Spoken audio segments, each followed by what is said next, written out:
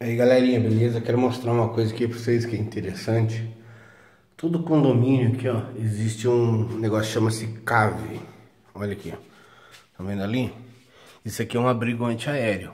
Ele tem uma espessura ali de quase 2 metros de concreto na parte de cima.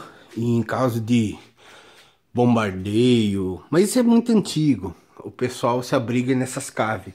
Cada condomínio tem um, uma cave pessoal usa como depósito hoje em dia, né? Mas para para guardar coisa, mas era considerado uma um abrigo antiaéreo. Era não, é considerado. Ele é todo de concreto usinado, muito resistente.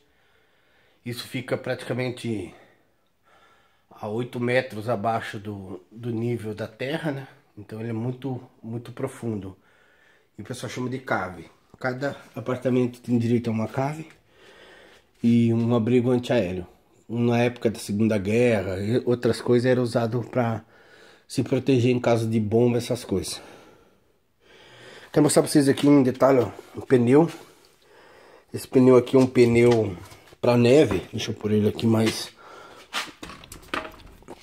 no claro. Vocês vão ver que ele tem um, uns grampinhos, ó.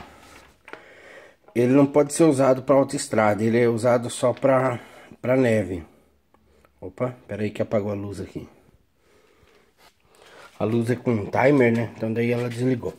Vocês estão vendo aqui, ó. Ele tem umas umas tetinhas de, de aço, ó, que é para ele, para você rodar em estrada de neve. Mas ele não pode andar em autoestrada não. Ele só no máximo, se não me engano, a 60 a 80 km por hora.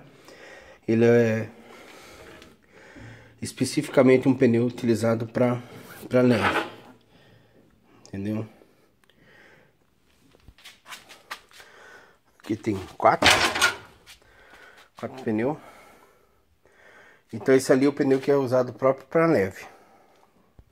Aí o pessoal guarda bugigangaiada aí, tranqueirada, né? Aqui tem outro aqui do lado. Mas é, o objetivo é aquilo ali. Era uma proteção, um abrigo antiaéreo, feito de concreto usinado, abaixo do, do nível. O pessoal guarda vinho. Hoje é uma dispensa, na verdade, mas a, função, a funcionabilidade para isso era isso aí mesmo, entendeu? Valeu, galera. Bom domingo para vocês. Eu vim aqui embaixo procurar um, umas coisinhas aqui para fazer um Pegar as coisas da bicicleta para encher os pneus. E essa aí é a tal da cave. Valeu, galera. Um abraço.